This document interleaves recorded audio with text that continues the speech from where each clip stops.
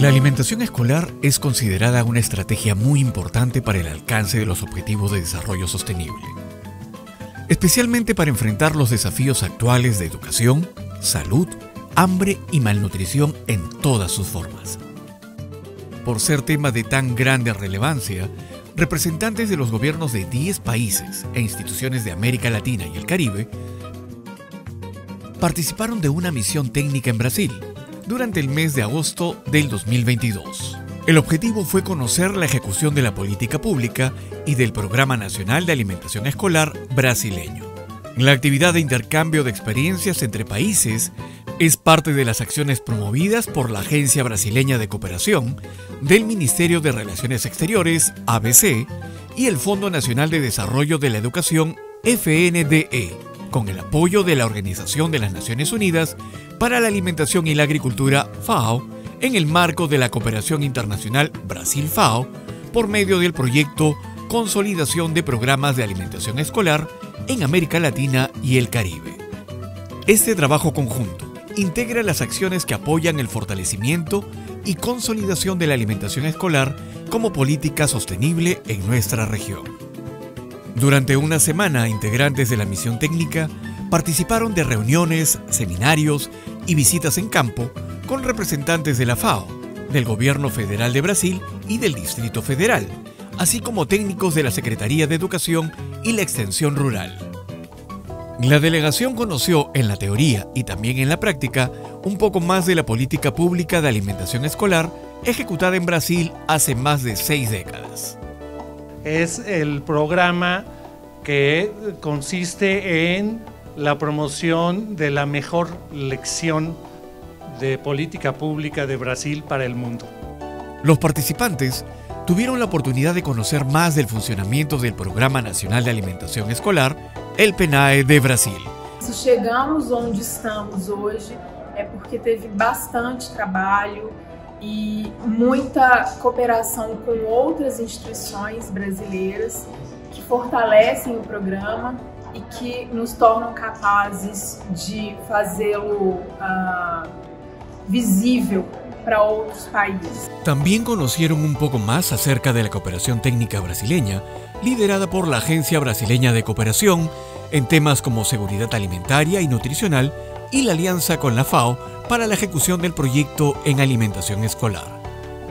Em 2009, a partir da aprovação da Lei de Alimentação Escolar pelo governo brasileiro, a alimentação escolar passou a ser uma, um eixo estratégico da cooperação sul-sul trilateral, em particular com a FAO.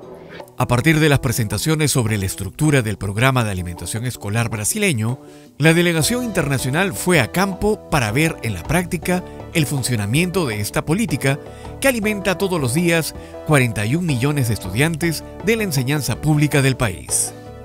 Para eso, fueron organizadas visitas a cinco escuelas del Distrito Federal sede de la capital de Brasil, que ofrecen distintas modalidades de enseñanza.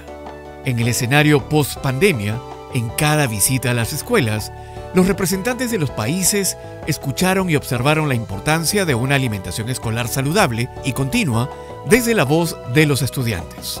Mas muitas vezes essa alimentação aqui é a única coisa que a pessoa vai comer no dia inteiro. Então essa comida é de extrema importância para o aluno e para a família que ele consiga se desenvolver na escola. Afinal, a gente está aqui para estudar, mas não tem como estudar se a gente estiver de barriga vazia. Fueron visitadas escuelas de enseñanza infantil y para jóvenes y adultos, escuelas con jornada regular y extendida. La misión también permitió que los participantes probaran la alimentación escolar brasileña. ¿Y qué les pareció? Me pareció excelente, muy muy bien preparada, un excelente sabor propio de, de acá de Brasil y definitivamente algo exquisito, muy muy bueno.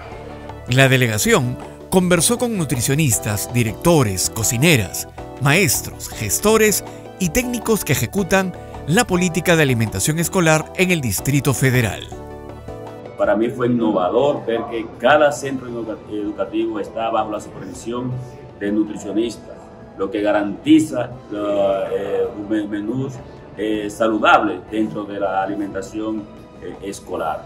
Desde 2009, por ley, estados, municipios y el gobierno federal de Brasil tienen que comprar por lo menos 30% de productos de la agricultura familiar para la alimentación escolar. Por esto, en el día siguiente a la visita a las escuelas, fue el momento de llevar al grupo para conocer agricultores y agricultoras familiares que participan del programa de alimentación escolar, comercializando su producción por meio da política de compras institucionais. Bom, é extremamente importante, porque além da gente fomentar a vocação agrícola né, da, da região, então a gente faz gerar economia para a região, nutricionalmente falando, os alimentos eles chegam mais frescos nas escolas. Durante a visita a fincas de pequenos agricultores, con acompañamiento de técnicos extensionistas de la empresa de asistencia técnica y extensión rural de Distrito Federal, EMATER, la delegación internacional conoció el funcionamiento de los programas de compras a la agricultura familiar. A ferramenta da alimentação escolar, ela ancora uma série de outras capacitações dos agricultores e de outras políticas. Então, isso é fundamental a te entender. A alimentação escolar sozinha é importante. Agora, ela amparando e ancorando é muito mais importante. Para vocês terem uma ideia, ah, por trás dessa conversa nossa aqui, você pode trabalhar crédito rural, você pode trabalhar produtividade da propriedade, você pode trabalhar legalidades da propriedade. Se pudo ver que las frutas y verduras orgánicas que la agricultora familiar Ivonne Ribeiro produce, por ejemplo, salen de su finca para alimentar a varios escolares de Brasilia. If kids don't have food, they can't learn. If they don't learn, then we're losing our human capital.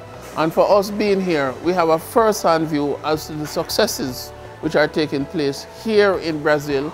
We're taking the lessons learned and we're seeing how it is we can collaborate, how we can partner and have similar interventions throughout the Caribbean. El programa alimentación escolar de Brasil eh, tiene distintos componentes que lo hacen ser un programa muy completo y de mayor contribución a la seguridad alimentaria y nutricional. En primer lugar, la articulación interinstitucional, es decir, distintas instituciones participan, distintos ministerios, pero a su vez también eh, el gobierno nacional, el gobierno federal y los municipios.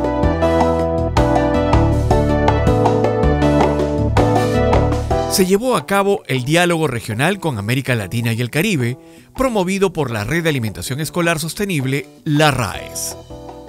La red es una iniciativa del gobierno de Brasil desarrollada por la ABC y el FND con apoyo de la FAO y directivos de los países miembros. Esta reunión también oficializó los miembros del comité directivo de la RAES.